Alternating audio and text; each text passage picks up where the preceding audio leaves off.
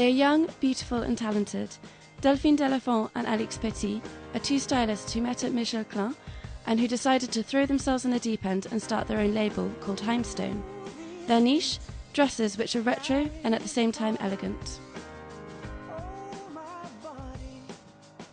On s'est rencontrés, on a travaillé ensemble. We met at Michel Klein, where we worked together, and I have always wanted to start my own label, and I think Alix felt the same. And the fact that we met and could do it together was really the trigger for us. People always told us that it would be hard and that there were hundreds of girls who wanted to start their own label, and that the market was really saturated. And so the idea to just do dresses really came from this to do a collection that was targeted just at dresses. We wanted to find something a bit original using materials. We always try to go in a slightly different direction. We get our inspiration from all sorts of things that we like.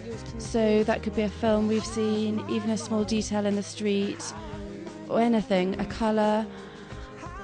And so we've already done quite a bit of research. Well, it's not really research, but things that appeal to us throughout the year.